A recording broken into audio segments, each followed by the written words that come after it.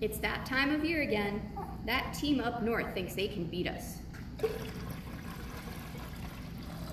But we all know they can't. And we're gonna prove it with science.